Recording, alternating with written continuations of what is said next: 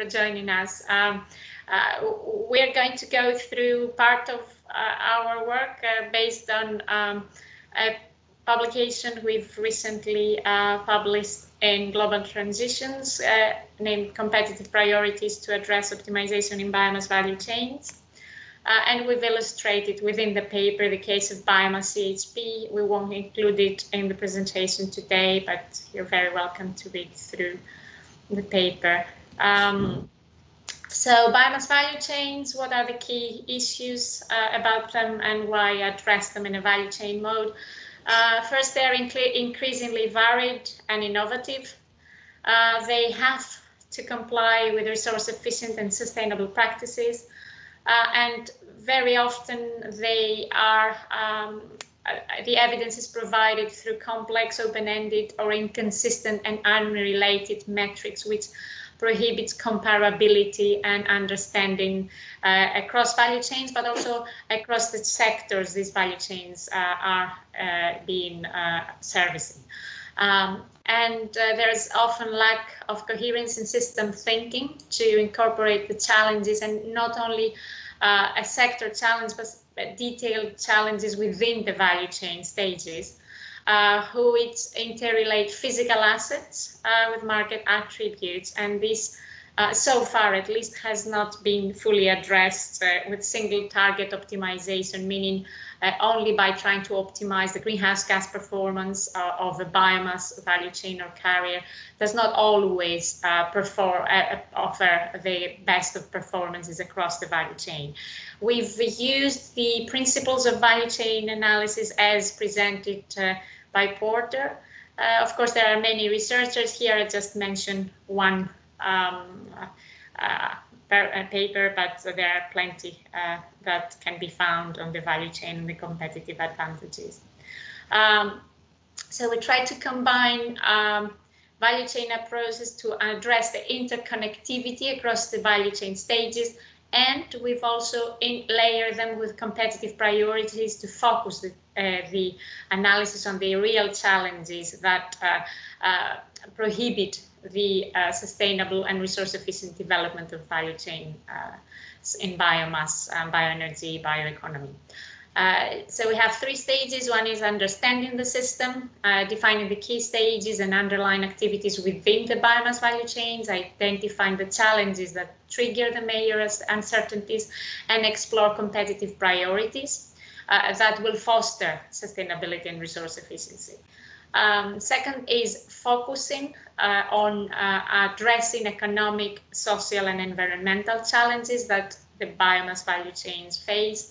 And to do that, we propose a, a set of metrics uh, that are fit to measure performance, overcome the specific challenges, and steer focus on the competitive priorities within the value chains. And finally, we have uh, optimization strategy landscapes, which uh, aim to improve evidence, allow stakeholders to trace the rationale of any decision, and also enable monitoring, future projections, and comparisons. Uh, a very uh, brief, uh, quick look on the system, value chain stages and activities. it's very obvious that the biomass value chain goes through land use most of the times unless uh, it is uh, based on algae or marine ecosystems.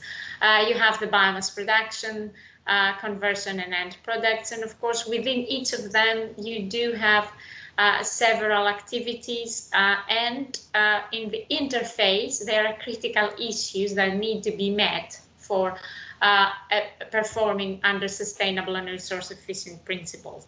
Uh, so from land use to biomass production, you have to make sure that you have a land suitability from biomass production.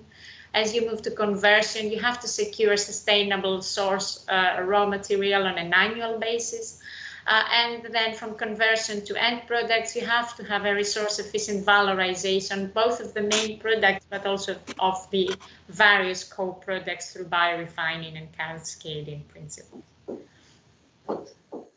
Why competitive priorities? Which competitive priorities we've used so far? You will uh, we will talk uh, with Asha and Thomas in detail with them for them, but um, in our analysis, we have used flexibility, uh, meaning the ability to expand or adjust the capacity, the volume, and the product design. Uh, this allows us to ensure year-round uh, biomass supply that can be adapted to local ecology and climate, uh, and to adjust conversion pathways and scales uh, uh, to convert to raw materials with variable qualities to energy fuels and bio-based products. Uh, we include in the analysis quality uh, as uh, meaning uh, improving process and product performance and adherence to quality standards uh, because it is very important that uh, the quality of raw materials practices and end products is safeguarded for the successful establishment and uninterrupted operation throughout the value chain lifetime. Of course, we have cost, a critical element for the viability or even the decision making to proceed with implementation. Uh, and uh, competitiveness is uh, strongly related within individual value chain stages, with land use and biomass production most of the times accounting for 40 to 50% of the total uh, production cost. Uh, also, as technologies get more innovative, creating value with improving cost, having cost reduction, uh, as the technologies move through uh, the technology readiness level from the uh, research to the commercialization. It is very important because uh, there is the risk uh, of the valley of death which needs to be um, uh, safeguarded as well and go to full commercialization with improved costs. then we do include innovation there's a lot of innovation both in the raw material practices and the conversion pathways um, and transparency. There's have been and there are and there will be uh, various debates about the sustainability of biomass and about its uh, efficiency to uh, use uh, natural assets and whether uh, up to which extent, which are the boundaries uh, so being transparent and having uh, a monitoring system, uh, a, a, monitoring system to address the impacts and report them is a critical issue uh, to avoid displacement uh, for other activities and sectors, improve clarity and awareness of the benefits from implementing the value chains, and also more important, create trust among the society. Um, so we uh, use the competitive priorities to um, address the challenges. Uh, we, there are, of course, various challenges within our uh, paper. We have uh, grouped them in value chain stages. So for land use, we have minimizing competition, avoiding displacement, and improving land quality and maintaining soil organic matter. And the relevant quality priority, competitive priorities are quality, innovation, transparency, and cost. Um, when we, as we move to biomass production, we need to ensure year-round sustainable biomass supply, uh, have competition of biomass feedstocks, biodiversity loss, uh, maintaining low input and less intensive cropping practices, safeguarding the soil compaction and soil carbon, minimizing the emissions, and reducing the carbon footprint of storage and transport. And uh, we have uh, uh, been matching them with the cost, innovation, flexibility, and quality. Uh, conversion includes the site selection of the plant location, so probably co-location uh, of uh, close to existing infrastructures like biorefine, uh, uh, like refineries, access to technology, the low emissions, handling mixed volumes of variable material, and optimizing synergies for valorization of residues and products. And this is including uh, the competitive priorities of innovation, quality, flexibility, and cost. And finally, uh, the end users, um, a key element of the value chain. Uh, so uh, we have to ensure uh, that uh, there's compatibility of the biocommodities with both the processes and the standards, and that uh, they will replace and not compete with existing infrastructure and distribution channels. And of course, a critical element again is the engagement of the society, their awareness, their understanding, and their perception. And there we've matched, we're matching quality, cost, and transparency. We, I will show in the end the relevant uh, optimization strategy landscapes for the policies. So the metrics to address the challenges, we will share uh, this uh, with um, Asha, uh, who is focused social and Thomas on the environmental. I will only touch briefly on the economic sustainability. Um, which uh, we are, are, addressing in the affordability of land prices, the balance production and purchase costs, the cost efficient conversion, uh, market and price dynamics, and local employment. And uh, we have been uh, grouping the different indicators, activities, and uh, value chain stages.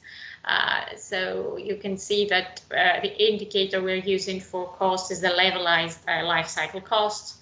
Uh, we also use technology readiness level both for feedstock and for conversion, uh, investment, uh, gross value added, and for jobs we use the full-time employment across the value full value chain. So number of full-time jobs it depends per ton or per gigajoule of end products. And uh, last, uh, the contribution to the rural economy, which is the gross value added to the rural economy uh, per ton of product. I will now pass the floor to uh, Asha to explain to you how we work around social sustainability. Asha. Thank you. Thank you, Poppy, and good afternoon, everyone. Uh, so in next few slides, I'll be mainly talking about how um, we have selected some of the social indicators for our own work, not only for the uh, paper that Poppy is presenting from the beginning, but also other project works. Uh, and um, I'll talk about the key challenges of social sustainability and the role of stakeholders in the optimization of the bio-based value chains and the tools, some of the tools that we have explored uh, for mapping of the stakeholders to understand their roles and linkages in the value chains, and uh, lastly, I would like to share some of the ideas about going forward, how we see the role of the social indicators in the assessment of the uh, bio-based value chains, uh, and also to inform the bioeconomic policies, uh, just to explore some of the research avenues. So next slide, Poppy. Thank you. And uh, here, uh, what I've tried to show here is that, um, like Poppy mentioned, across the value chain stages, uh, the selection of the set of indicators is usually determined by the activities within each stages of the value chains. And it varies from the focus of the value chains and the context. So does the social impact with, uh, of these activities under the value chain stages and the criteria to assess the social sustainability are different from projects to projects and the tasks to tasks. So the indicators, ultimately, the set of indicators that we use uh, ends up being uh, different slightly, and uh, it's usually based on the spatial and temporal scale of the assessment that we are trying to do.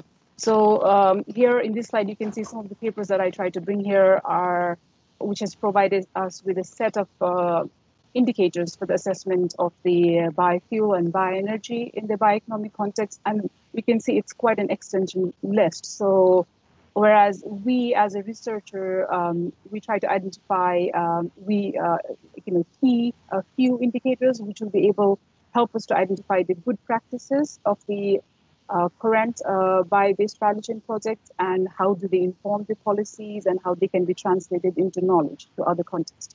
So keeping these in mind, uh, selecting a set of indicators is always a challenge, which covers a wide breadth of scope uh, and as well as which requires a less resource. Uh, so, um, so the guiding principles are usually the feasibility to measure within the time frame that of the project, um, and also the administrative cost and the burden on the project uh, partners and the uh, people who are conducting the research. So, um, yeah. So, next slide. Uh, here, um, I've tried to show some of the examples of the different projects and the different project tasks and how under each project task, we have set of indicators, and these are usually determined by the task objectives. And um, as a researcher, and which uh, which I say here top down, because we try to select uh, indicator based on the availability of the data in the literature because most of the time the work that we do is based on the desk-based research and we have to rely on the big database uh, that's out there. So, so uh, besides the availability of data, we also, uh, because our work is mainly focused on informing the policymakers and building a policy framework. So we try to see if there is a, uh, these indicators that we have selected has the ability to inform the policy and decision makers and, and also its proximity with the CAP, the Common Agriculture Policy Indicators, because we are looking into the agricultural value chains and which uh, is influenced by the changes in the within the CAP framework. And uh, another key is the um, we have used social development goals as the benchmark because the of the link of the larger uh, EU bioeconomic goals um, and, and also try to see if these uh, indicators can be combined with the economic and environmental impact assessment because the idea is that these uh, impact, social impact doesn't happen in silo and they are complex, so they are intertwined. So we try to find an indicator which can inform both the economic and environmental impact assessment as well. So you can see um, employment is one of the repeating indicator because it's regarded as one of the primary motivator by the uh, policymakers because it's widely tracked and the data is uh, available under employment. And employment also gives us uh, insights uh, not only of the local and regional economy, but also at the value chain level because uh, it is uh, contingent on the feedstock that's is uh, chosen for the production or the distribution option chosen by the distributors or the conversion pathway that's selected. So it gives us uh, an insight into the value chain level activities. Uh, so which allows um, to draw information to inform the economic growth impacts of the specific value chains in the specific regions. Uh, so one other um, social indicator that we have selected for the paper is the contribution to the rural economy, and that ties to the competitive priorities of the transparency because it provides evidence to support the development of uh, new knowledge uh, sharing and building of the partnership and creating an acceptance uh, within the uh, stakeholders of the value chain because we are talking about the innovation happening in the agriculture uh, bio-based value chains within the context of bioeconomy, which is evolving. Um, so uh, moving on to next slide. Um, here, um, what what we this is a part of the work that uh, we did for the presentation of a conference paper. So we try to see uh, the uh, the bottom up approach of the selection of the social indicators. By that I meant uh, if the indicators that we have selected for our own research uh, tasks uh, do they match with some of the indicators that comes from the bottom up. And then we did the literature review uh, of the publications, which is based on the survey of farmers and the agricultural stakeholders, and to, uh, which have tried to understand the perceptions and opinions of the these community on the exploitation of the marginal lands for the energy crop production.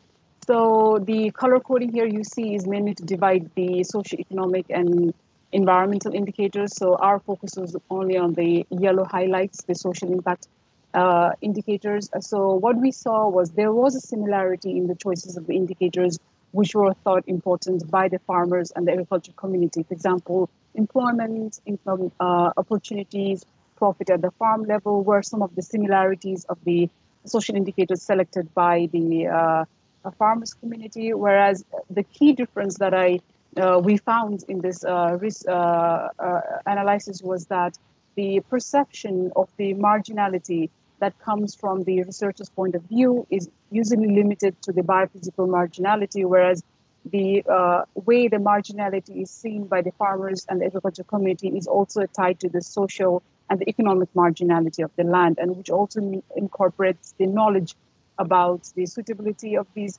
agricultural land and the existing knowledge that local people hold uh, on the agriculture and soil management practices so these were some of this uh, like slight difference that we saw in the selection of the indicators that they thought was important in the top-down and the bottom-up approach. Next slide.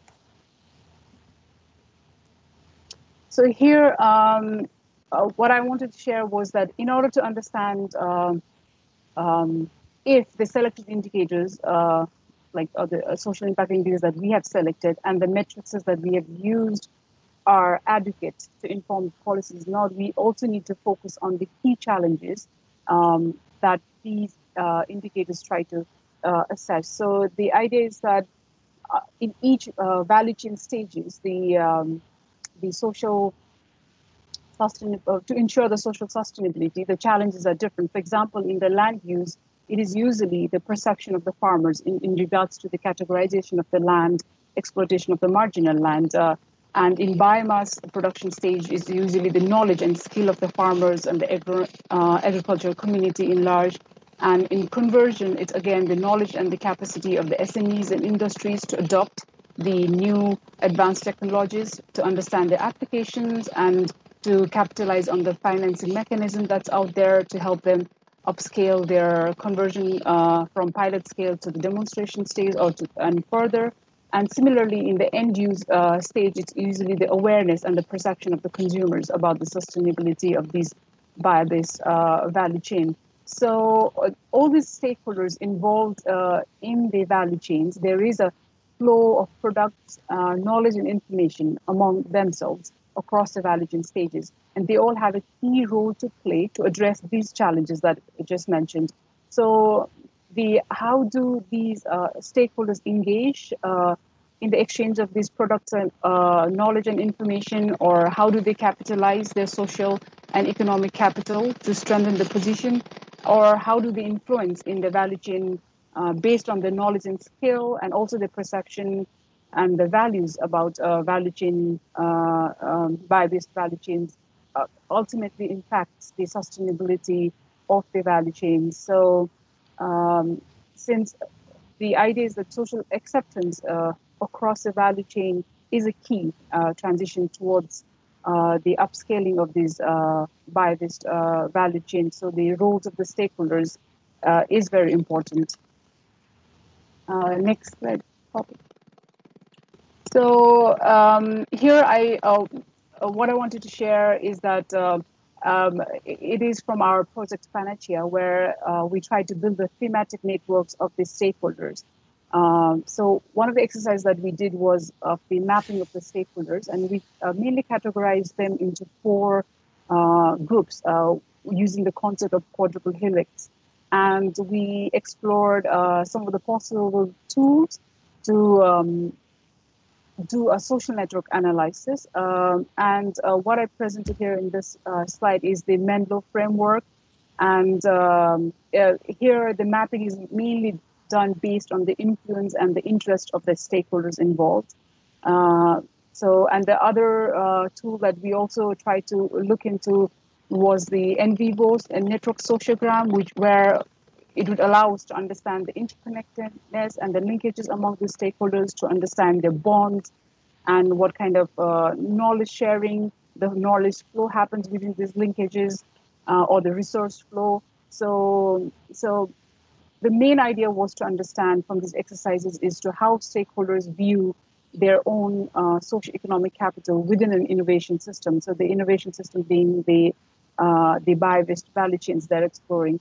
And um, unfortunately, in, in, regards to the Panacea project, the GDPR regulation kicked in as we were collecting information, as we were building this database of the stakeholders, and we could not move uh, too further in, without these initial ideas of the social network analysis and the uh, the amounts of uh, information that we could gather about uh, the stakeholders were limit, uh, limited to their uh, involvement in the um, value chain stages, the sectors, the, their institutional role and capacity. So we couldn't do the in-depth analysis of the stakeholders network analysis. However, we do think it is one of the important area to explore to understand the role of act, uh, all these different stakeholders uh, who are involved in the innovation and understand the pattern of uh, interaction that's happening within these stakeholders and how these changes uh, due to the influence, uh, external and internal, over time. So, next slide. So, uh, so some of the um, things um, or the uh, way forward that we see as the use of these social indicators in the assessment of the uh, bio-based value chains and to inform bioeconomic policies are uh, one is that um, since bioeconomy has a diverse stakeholders both along the value chain upstream and downstream, and they all, all the stakeholders involved have diverse values and judgments. So it, it is very important to understand um, the interactions and the roles of stakeholders along with their values and judgments. So there is a need of broad social network analysis of these uh, stakeholders. And the next uh, point is um, uh, the social sustainability. Uh, when it's measured by a selected set of indicators, you we reduce uh, um, the uh, essence of the some of the impacts and the when it's reduced down to the measurable impacts uh, we kind of overlook some of the uh, dynamics. For example the social values and judgments uh, changes as the social construction changes and they shift. So um, so from the research point of view they could be problematic and they're usually marginalized and very weakly researched not adequately researched. But uh, at the decision levels we need a policy uh, mix which has a balance of both market and non-market values. So the consumer values, which are usually driven by the economic uh, values, are important, but also we need to incorporate the citizen values, which are which come from the social choices that people make. So uh, the one last point I want to make is also about how bioeconomy is usually driven by uh, like you know result oriented innovation process and the focus uh, is usually on the development of the new products and new services. But the uh, idea is that focus should also be in creating a social demand and building new social relationships and collaborations. So the shift needs to happen from the technical innovation towards the social innovations. Uh, so and so the indicators are usually uh, used to manage implementation and to report the successes and the failures of the policies. But we also need a set of indicators which facilitate the learning in the process of this innovation. So, which emphasizes on the citizen citizen citizen based uh, innovations. Uh, so the idea is that we, uh, as a research point of view, we need to be able to incorporate some of these uh, indicators into the uh, social sustainability research work. So yeah, I think having said that, uh, I would like to conclude my uh, few slides here. Yeah.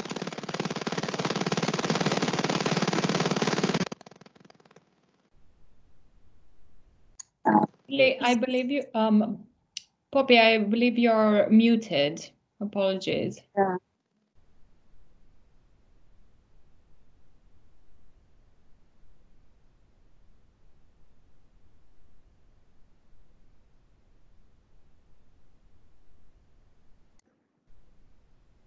Hello. I guess I'm unmuted now.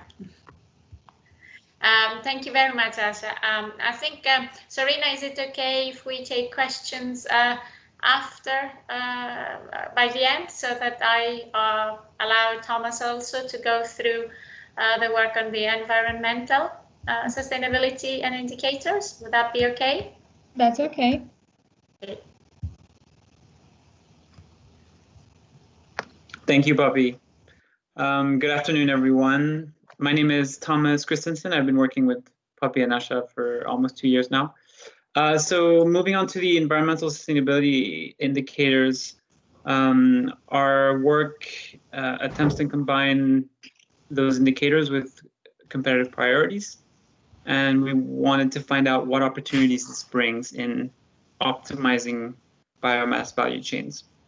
Um, I'll be using two reports from the Magic and Advanced Fuel projects, which highlight a set of good practices, uh, which we can analyze um, this framework. And finally, I'll be discussing some future research, uh, which seeks to implement this conceptual approach into quantitative modeling.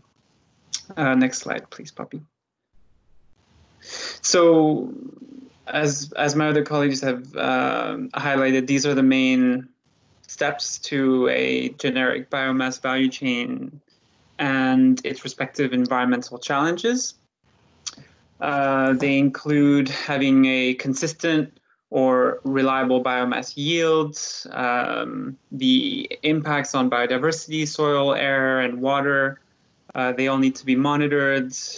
Potential competition with other land uses, and finally life cycle emissions and pollution. Uh, so some of those are more land-based and others are both land and industrial um, uh, based. So our objective is, is to turn these potential weaknesses in biomass value chain stages into good practices. Um, for example, is it possible to remediate soil uh, transform degraded or abandoned land into productive land? How can uh, these value chains support biodiversity instead of harming biodiversity? Um, how can they compete commercially with fossil fuels? And all at the same time cutting down on emissions. So we really want to leverage the interconnectivity of all of these steps and go beyond the simple life cycle assessment. Essentially, what we're aiming at through this paper is, is to produce a framework where environmental priorities are integrated with logistical operations, uh, which basically means the crossroads between sustainability and resource efficiency. Um, and these are all clearly outlined in the objectives of the bioeconomy strategy, which includes sustainability, resource efficiency, and competitivity in the market. Uh, next slide, please, Bob. So following up on um, Poppy and Asha's input on economic and socioeconomic indicators, these are the main environmental indicators uh, that you can see on the left column. And for each stage, we found four competitive priorities, uh, transparency, flexibility, and quality. Uh, so again, what is interesting about this is establishing a link between biophysical dynamics or activities related to natural resources and commercial valuation. For example, transparency is linked to greenhouse gas emissions and land use change, uh, which means both of those produce up-to-date information about their status and their impact. This is transferable to consumers, or it's, I should say, available to consumers, which can increase trust. Um, similarly, quality provides information about the impacts on soil, biodiversity, air, and water, which also informs consumers. It can, and it can also inform policy when formulating uh, new standardization and certification schemes. Um, it, innovation is present in strategies which which um, improve flexibility and intersect with sustainability. Um, indicators like sustainable harvest level, water use efficiency, soil carbon and nutrients, those are all a mix between sustainability and efficiency. Um, and ultimately, having both of those can better inform research and development as well. Um, I also highlighted a few relevant gaps within um, available policies. Uh, so there's uncertainty around current water sustainability criteria. Um, and there's also a limitation in how bio-based products are labeled. Next slide, please. So the, the first project uh, that's relevant here, which uh, we are all part of, is MAGIC, which stands for Marginal Lands for Growing Industrial Crops. Um, we produced a deliverable two years ago, which highlighted cases around Europe uh, that are all at small fields or demonstration scale um, so this makes it a little bit difficult to replicate, um, but there are some common biophysical challenges which each of these cases um, address, and they all compose of feedstocks with common characteristics.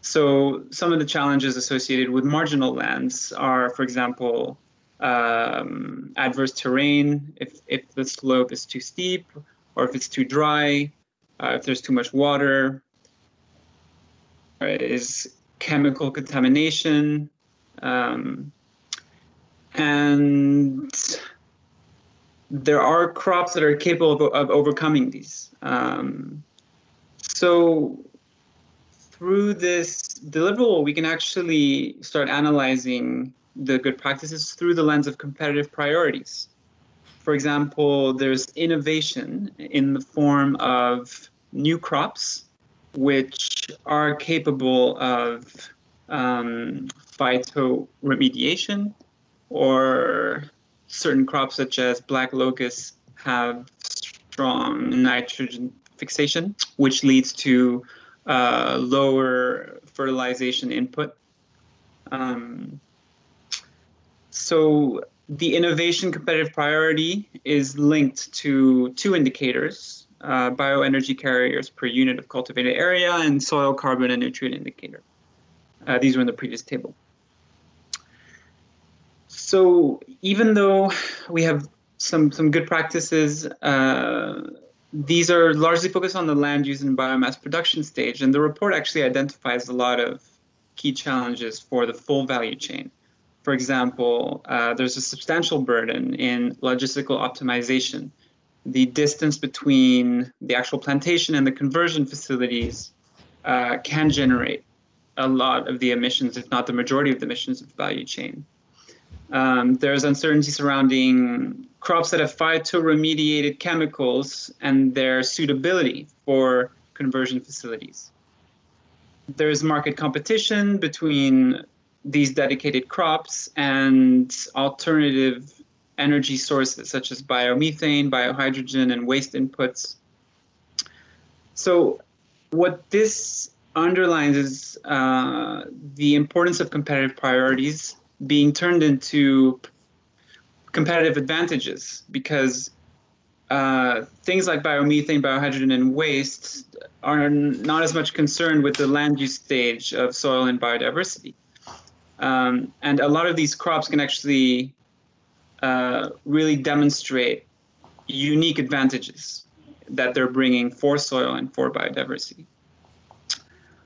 Um, there is also end use valorization from these crops. For example, bio oil, which can be extracted from poplar, has good antioxidant activity, can be used as an additive in biodiesel, um, which redefines the entire and full value chain um, and its value.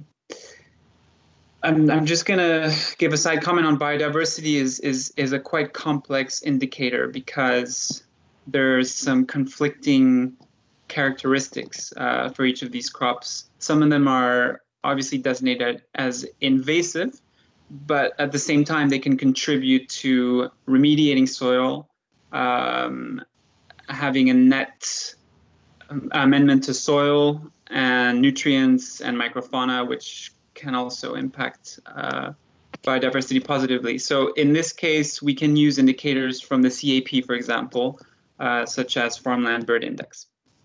Next slide, please. Poppy, thank you. Uh, the next project that, that we're all three involved in is Advanced Fuel.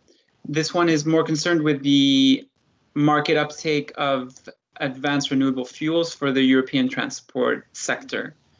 And one of the reports that, that we published um, looks at uh, good practices of plants or biorefineries around Europe and some key transferable lessons that that um, they each have. So, for example, some of them have uh, their raw materials as very close to the biorefinery.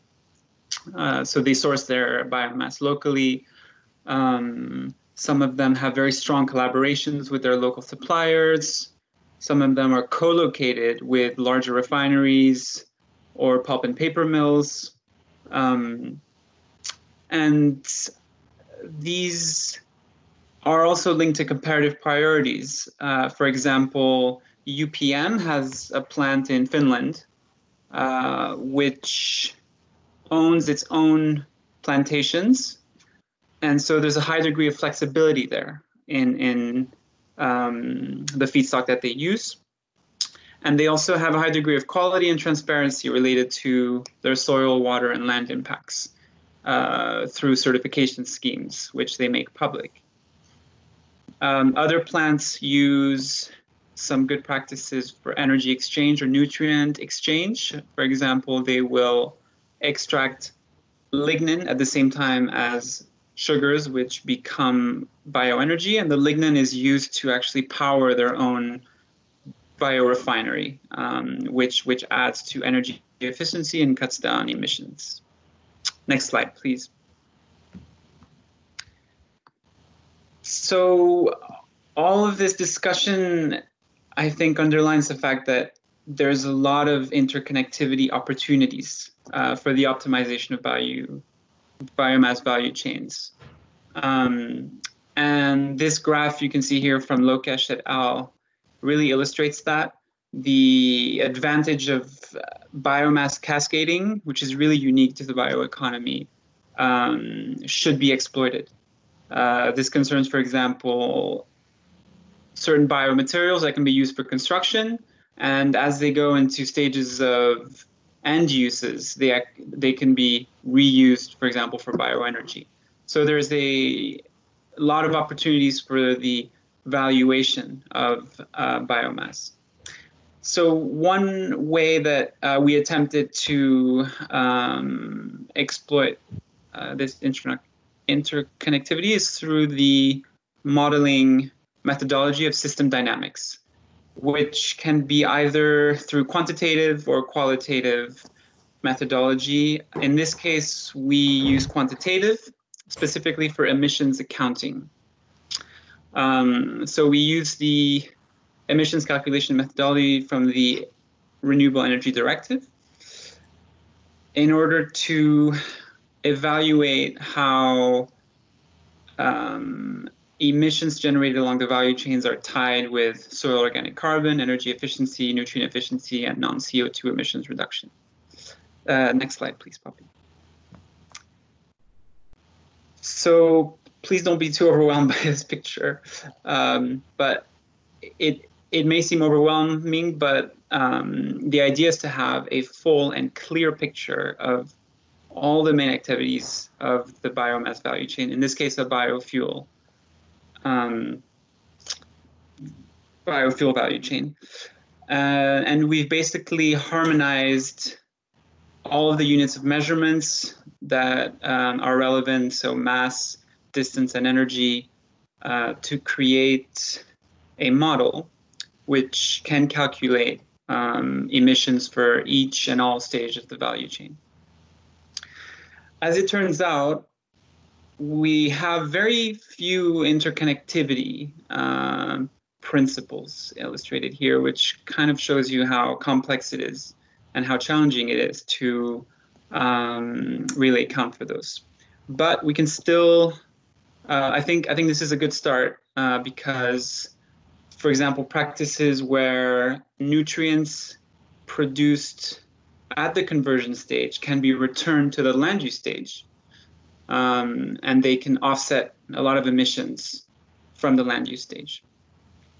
Um, so the idea and the future research uh, that's ongoing now for, for this model is obviously to identify competitive priorities through quantitative modeling. Um, and all four that are linked to environmental indicators that I mentioned previously, quality, transparency, innovation, and flexibility, um, can be attributed to to actual quantitative results. And yeah, we're hoping to produce this work in the next few months. That's it for me. Thank you, Thomas. Thank you. Thank you very much. Um, I'll just uh, illustrate uh, the landscapes we are working at the moment in the various projects.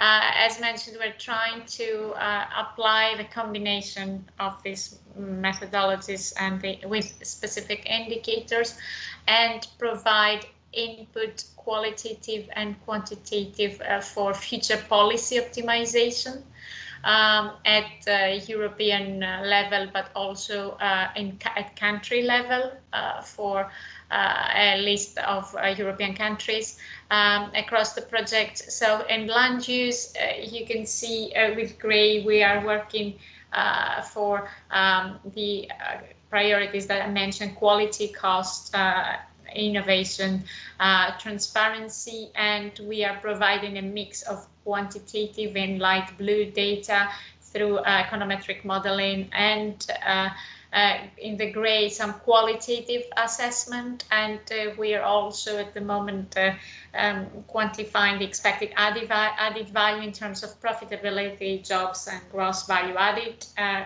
and also carbon farming options that can be applied through various innovative cropping.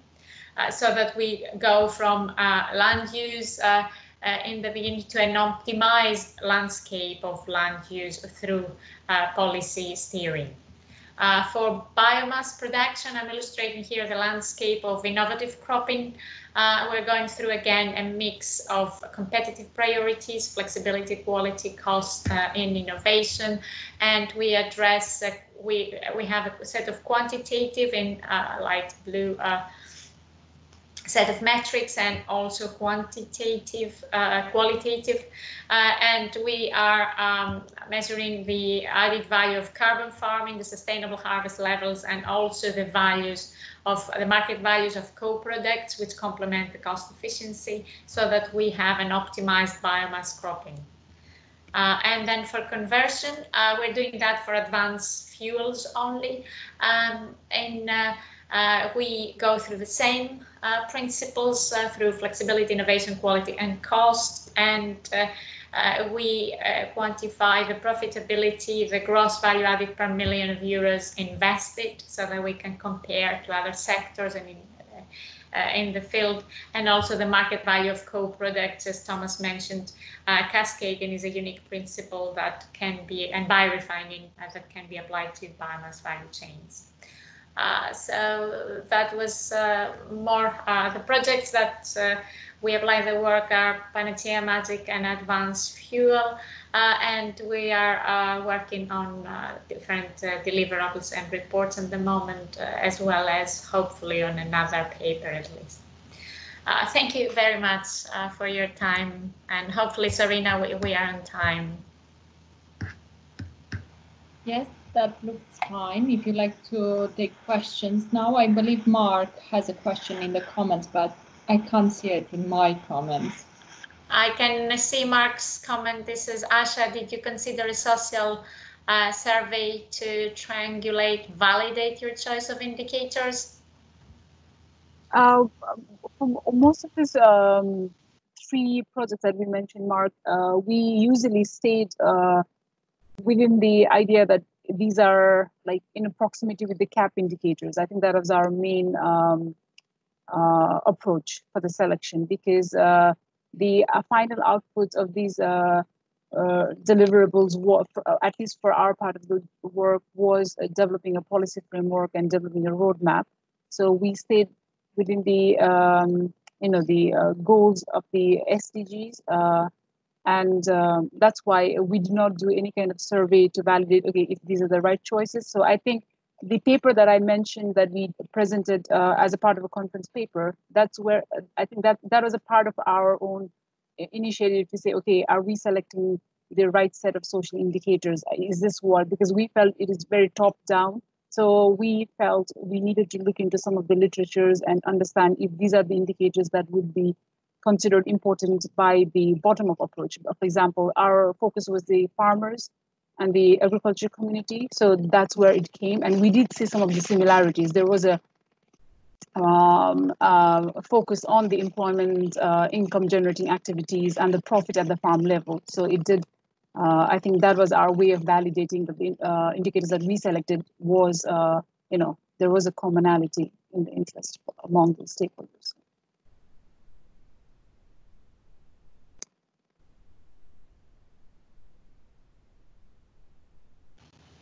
Thank you very much, Asha. Um, Serena, I'm not sure I can see any other questions here. Um,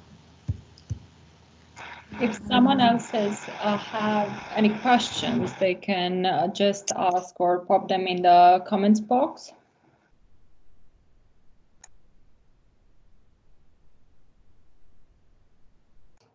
It's uh, it's it's Jem here. Um, Hi, Poppy, Asha, Thomas. Hi, How are you? Hi, Jim. Hello. Uh, sorry, I had to join the, the presentation a little bit late, but can I just ask, as the European Biomass Conference has been going on, and um, it's really just an, an opinion question. What's your opinion about the current status of public and policy perspectives on bioenergy systems within the bioeconomy? Um, I can I can report the European biomass uh, updates. Uh, it is um, it seems that uh, who, as as reported by the European Commission and also by a couple of MEPs that uh, were participating in the debate about Green Deal and, and bioenergy, uh, that uh, biomass heat is going to be focusing mainly on areas um, that are low pollution through through pellets or stoves or efficient uh, conversion systems, but uh, not in cities and uh, certainly not in highly polluted areas. And it seems that most uh, woody biomass uh, will be uh, prioritized for building renovation and it will not be um, used for, let's say, energy or bioenergy. So the focus is going on uh, residuals and waste, and also on uh, uh, agro agroecology, carbon farming practices, the use of abandoned land, new species. These are the buzzwords that are going around for the policy formation and strategies at the moment, as far as I've got them. Not sure if Thomas and Asha have something else.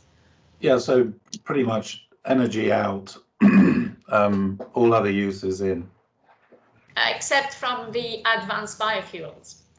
Uh, that uh, at least for the 2030 they're full in and also um, for 2050 it seems that uh, the advanced fuel scenarios as well have, have come out and it seemed to match other uh, work from IEA, bioenergy, etc. They will be uh, a key component uh, in the fuel mix for uh, 2050 as well, despite the big hydrogen boom at the moment, uh, especially for aviation and maritime and uh, heavy duty, uh, not for, for mass. Right. No, thanks for that. Thank you.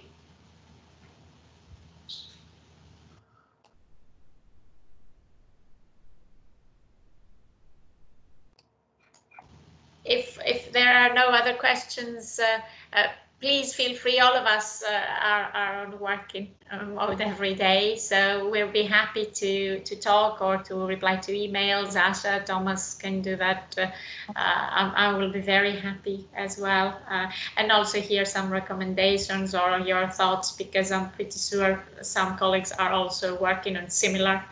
Uh, issues and, and if you have any suggestions for, for the approaches or the indicators or the measuring uh, to inform policy, please come forward. It will be great to hear from you. Thanks, everyone. Thank you. Thank, Thank you. you. Thank you. Thank you, everyone, nice for listening. Bye.